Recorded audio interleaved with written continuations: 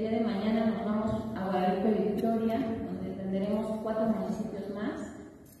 El día miércoles estaremos entregando uniformes adicionales a los que entrega el gobierno del estado y eh, mochilas y artículos escolares para nuestros niños del programa Todos a la Escuela, en donde estaremos beneficiando a más de 2.500 niños indígenas de Puebla.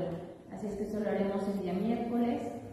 El día jueves tendremos el gran evento de la Feria de Discapacidad, esto porque el día domingo es el Día Internacional de la Capacidad, de la Discapacidad, así es que el día jueves realizaremos una feria en el Centro Expositor de 10 de la mañana a 2 de la tarde, en donde participan CRIF, Teletón, la empresa Cinia, con mesa de bolsa de trabajo, donde estará ofreciendo trabajo para personas con discapacidad.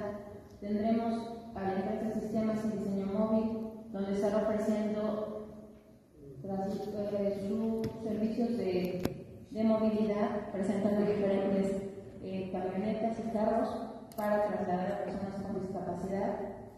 Eh, estaremos también apoyados por la Secretaría de Salud, la Secretaría del Trabajo, también con bolsa de trabajo para personas con discapacidad. La Secretaría de Salud pues, con algunas de las áreas que tiene, pues están refiriendo a este tema. La Secretaría de Educación estará con las áreas de escuela para niños con discapacidad y también estará participando con nosotros la Secretaría de Igualdad con mesas de asesoría y psicología para personas con discapacidad.